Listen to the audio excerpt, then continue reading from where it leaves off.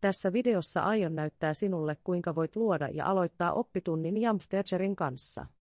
Oppituntien avulla voit valita, mitkä sovellukset, verkkosivustot ja tietyt toiminnot haluat ottaa käyttöön opiskelijoille.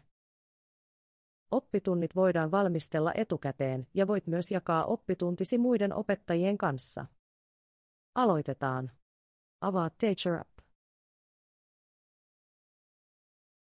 Vasemmassa yläkulmassa. Napauta Back. Napauta Lessons. Napauta Create Lesson. Anna oppitunnille nimi.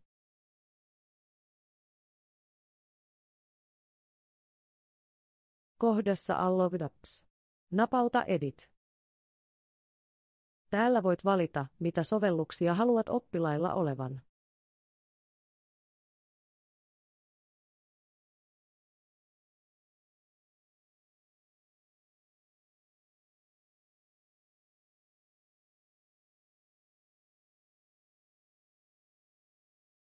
Kun olet valmis. Napauta Create Lesson. Oppitunnillani haluan, että opiskelijat voivat käyttää vain yhtä verkkosivustoa. Esimerkissäni avaan Safarin. Kopioi URL-osoite.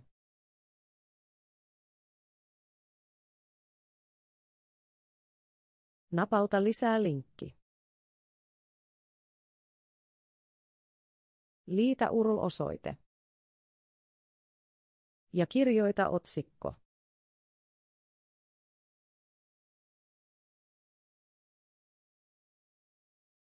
Paina Enter. Varmista, että Login these websites on käytössä, jos et halua opiskelijoiden käyttävän muita verkkosivustoja. Ja haluaisin myös sammuttaa airdropin opiskelijoilleni. Voit poistaa oppilaidesi eri toiminnot käytöstä. Napauta saive. Nyt haluan aloittaa oppitunnin. Aloita napauttamalla back. Napauta classes. Valitse luokkasi. Aloita oppitunti napauttamalla oikeassa yläkulmassa olevaa neliötä.